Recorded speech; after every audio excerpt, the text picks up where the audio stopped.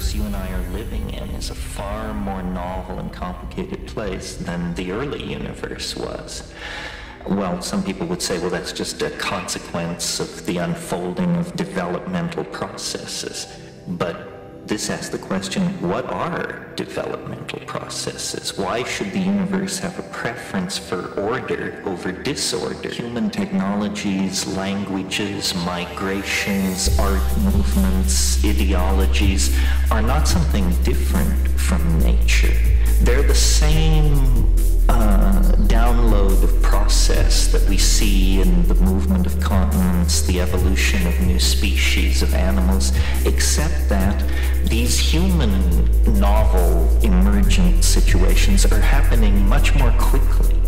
So I see the cosmos, if you will, as a kind of novelty producing engine, a kind of machine which produces complexity in all realms, physical, chemical, social, whatever, and then uses that achieved level of complexity as the platform for further complexity. Really, time is only experienced by the events which occur within it. And I maintain that the early universe had very little going on, and consequently, time moved very, very slowly. The character of time as we approach the present is that there are more and more physical domains and energetic domains in which change can occur. For example, the early universe was a pure plasma, a pure swarm of unassociated electrons.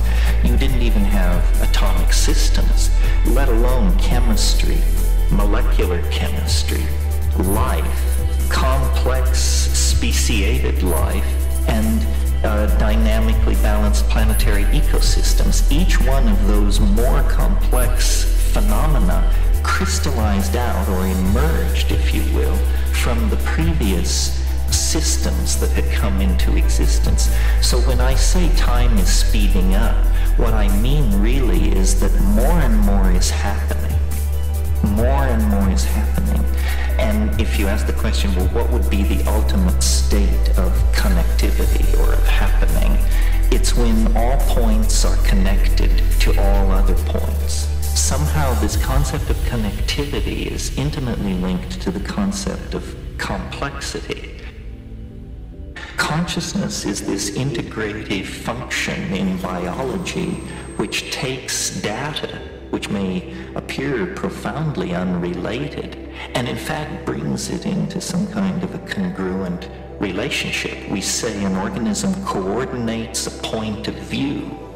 Well, in a way, what's happening over time is that the universe is coordinating a point of view. And as it does this, it becomes somehow more aware, more self-conscious, more uh, being-like and less thing-like.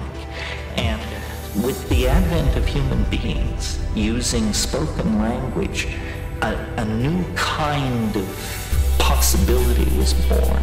It's called epigenetic change. In other words, change which is not about genes, but which is about uh, languages, customs, behaviors of human beings, epigenetic change reaches its uh, dramatic culmination in speech, writing, uh, and communication of all sorts. And so the carriers of epigenetic change, the human beings, are automatically then the carriers of accelerated novelty.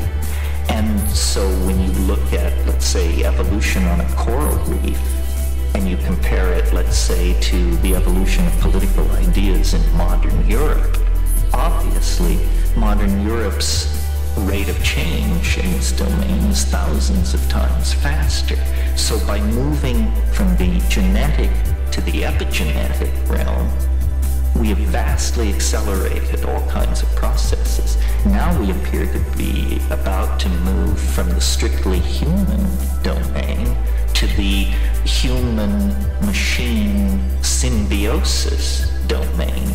And And of course, machines process information, make connections, and do their work at a rate thousands of times faster than any human being can work.